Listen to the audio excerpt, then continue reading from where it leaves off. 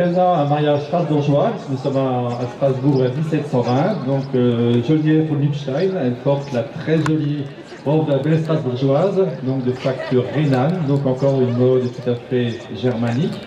Et elle porte ce, très beau cylindre, c'est pour cette mouture de cette année la seule coiffe d'origine du défilé, donc elle a effectivement de cette époque-là. Vous avez remarqué l'évolution de la tête couronne de mariée entre la première et la deuxième? Donc Strasbourg 1720.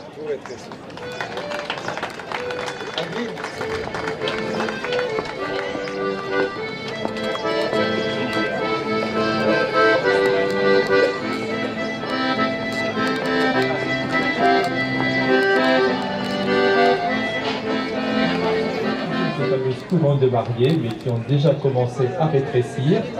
Elle, euh, elle porte aussi, ses, les robes commencent à raccourcir, et le jeune homme porte toujours cet habit français avec une redingote. Donc au Rosberg, 1820.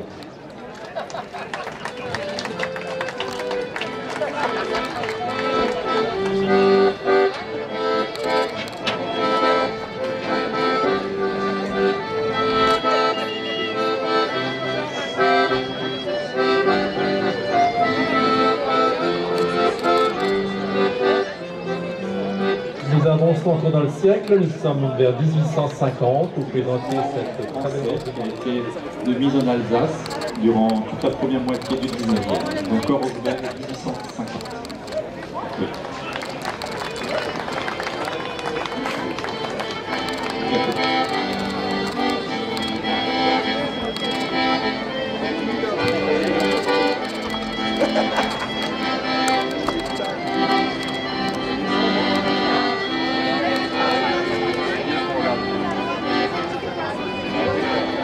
Nous sommes toujours dans ce Korsberg euh, vers 1890. Euh, Donc là, les modes ont vraiment beaucoup changé. La, jeune femme euh, porte une robe rouge, donc elle est catholique, la veste est apparue et surtout la, coiffe a commencé à grandir. Et c'était Lyon, Saint-Étienne, qui nous produisait ces magnifiques en fleuries, donc elle en porte un exemplaire ici. Et le jeune homme, pareil, la culotte a été abandonnée et les jeunes gens ont adopté donc le pantalon long et la veste courte et le gilet rouge. Donc Korosberg vers 1890, catholique.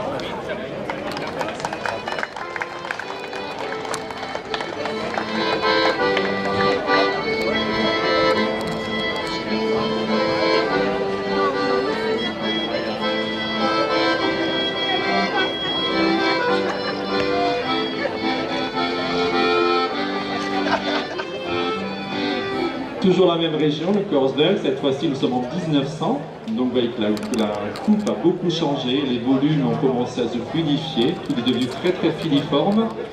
Le vêtement traditionnel a presque disparu puisque la, mariée ne porte plus que le tablier et la coiffe qui la rappellent et la robe est tout à fait citadine que vous pouvez retrouver euh, à Paris ou à Lyon.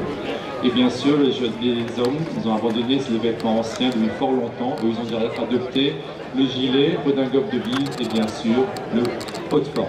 Donc Rosberg vers 1900. Et bien sûr, les couleurs se sont perdues puisque le noir est devenu la couleur des faits importants de la vie.